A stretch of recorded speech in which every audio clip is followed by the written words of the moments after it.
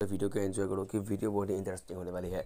आज मैं ऐसे ही खेल रहा था, क्लैश को रेंग गेम और भाई अचानक से आ जाते हैं हमारी टीम में कुछ अखंड लेवल के प्रो बंदे जो कि मतलब एक बार मार के ही ऐसा लोल दिखाया मतलब पता नहीं सकता मेरे को ऐसा गुस्सा आया कि सारों के साथ ऐसा रिवेंट लिया कि पूरे वीडियो को एंजॉय करो। वीडियो में एंड तक बने रहिए, चैनल को सब्सक्राइब करिए do subscribe the channel and like this video